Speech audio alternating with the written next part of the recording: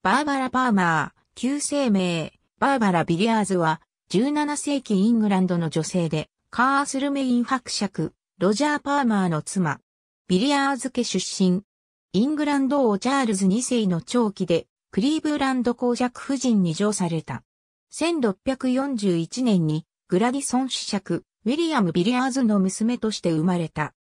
イングランド王ジェームズ1世、チャールズ1世父子の下で権勢を振るった初代、バッキンガム公、ジョージ・ビリアーズは、祖父、エドワード・ビリアーズの弟で、王子、同盟の息子でカバルに加わり、チャールズ2世の側近となった第二代バッキンガム公、ジョージ・ビリアーズは、ジュ王子、ジャージー伯、エドワード・ビリアーズは、重帝にあたる。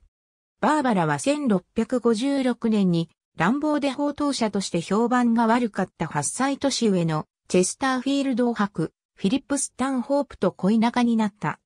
こんな彼女を持て余した親戚は、結婚させて落ち着かせようと、1659年に下級外務官僚のロジャー・パーマーと結婚させた。しかし、結婚してからも、バーバラとチェスターフィールド・ハクとの関係は続いていた。1660年にバーバラは、ブルッヘの亡命宮廷で、チャールズ2世と出会った。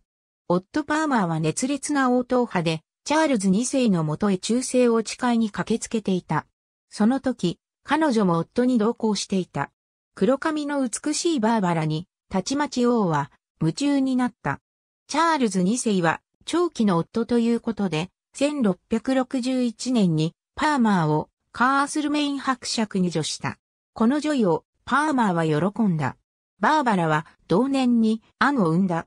しかし、この子供の父親は誰なのかはっきりとはせず、チャールズ2世はこの子供を自分の娘として認知することを拒否した。彼女は1662年に再び妊娠した。1662年にはチャールズ2世とポルトガル王女キャサリンとの結婚が決まった。キャサリンは1662年5月14日にイングランドのポーツマス港に到着予定だった。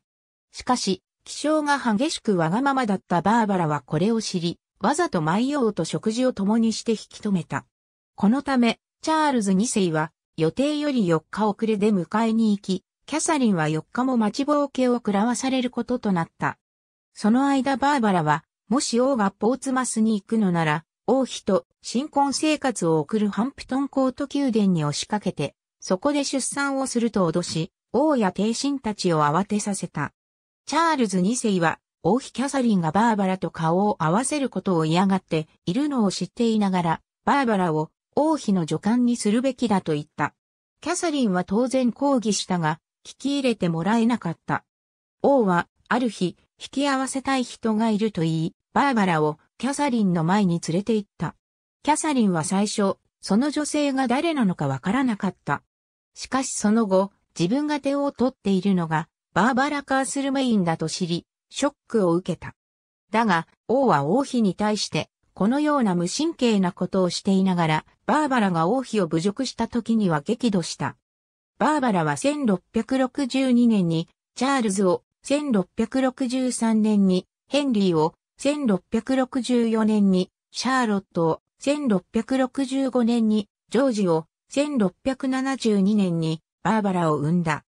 子供が生まれるたびに自分の子かどうか疑おうと王の子だと主張するバーバラとの間で揉め事が起こったが、いつもバーバラの粘り勝ちとなっていた。しかし、次男ヘンリーの認知をめぐっては、王は断固として拒否する姿勢を見せた。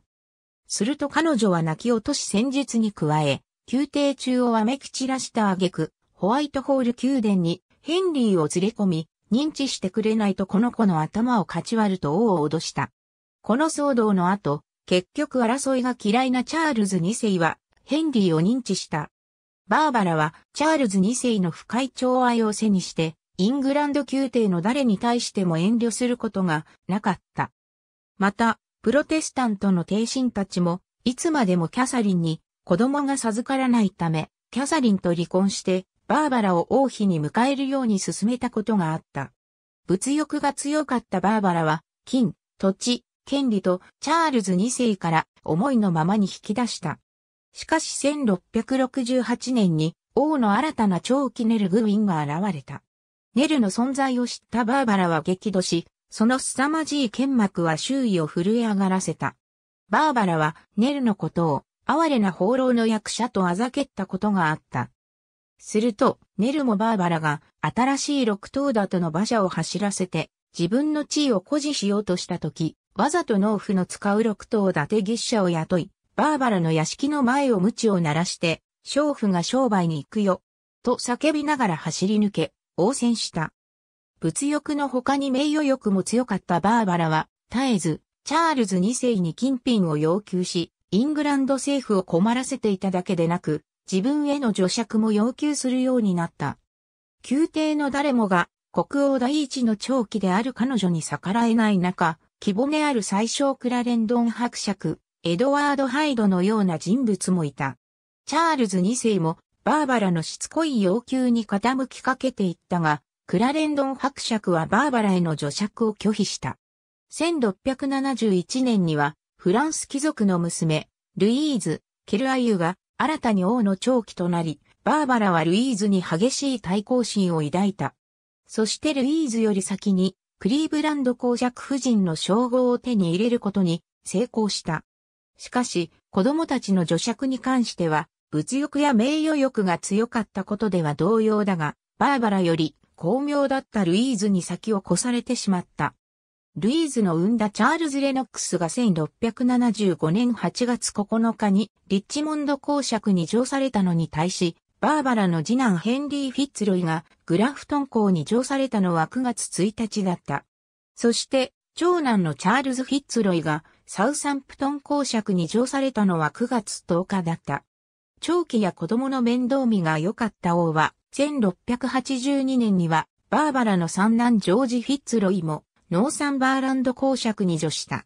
しかし、一時は絶大な牽制を誇り、賄賂に弱い彼女を利用して国事から宗教問題にまで影響を与えようと、フランスが考えてさえいたバーバラだったが、次第に王の寵愛も衰えていった。1671年の9月には、フランス大使がバーバラは王に対する影響力を失ったとルイ14世に報告している。さすがにチャールズ2世もバーバラの思い通りにならないとヒステリーを起こし、低心に当たり散らす、性格、強欲さ、身持ちの悪さに嫌気がさしてきたのだった。王から多大な恩恵を受けていたバーバラだったが、決して王に対して定説だったというわけではなかった。バーバラは以前のネルの恋人であったチャールズ・ハート、モンタギュー公爵、ラルフ・モンタギュー、綱渡り芸人のジェイコブ・ホール、マール・バラコー、ジョン・チャーチルと次々に愛人を作った。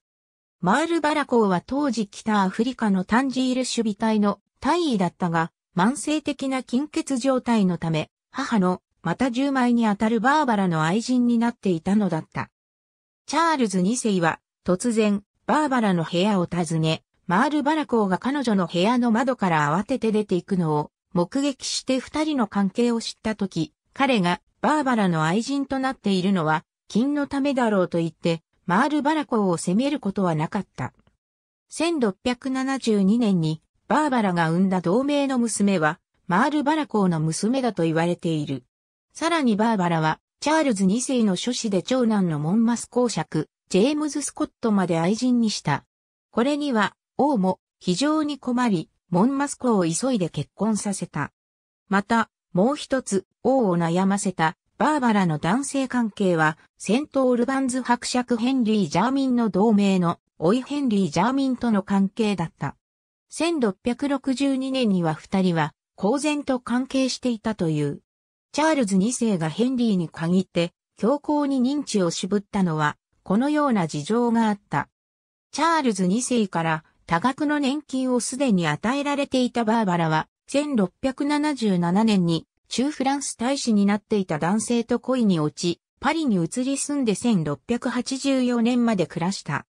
チャールズ2世の死後は、オット・パーマーと離婚し、1705年に10歳年下のロバート・フィールディングという美男と結婚した。しかし、フィールディングが二重結婚していたことが分かり、2年後にこの結婚は無効とされた。バーバラはフィールディングにすっかり財産を食い尽くされた。1709年、バーバラはロンドンで死去した。ありがとうございます。